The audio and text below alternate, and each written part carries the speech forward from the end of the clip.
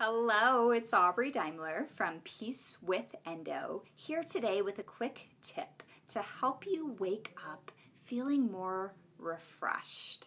So, this goes back to your sleep cycle. The average sleep cycle is 90 minutes long, and different things happen during that time. The main thing being dreaming, right?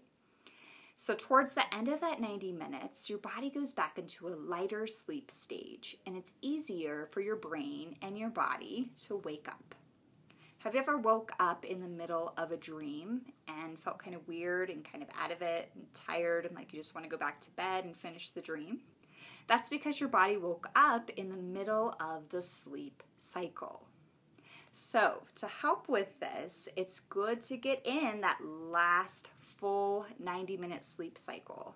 That way, you wake up feeling refreshed, your body went through that last cycle, and it's not feeling so out of it, so tired.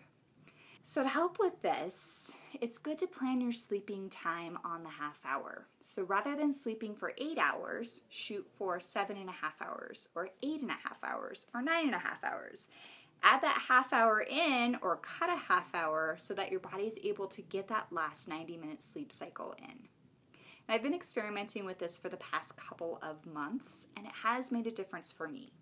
So try it out. I'm curious to hear if it helps you too. I hope you get a wonderful night's sleep tonight. I'm sending you so much love. Bye for now.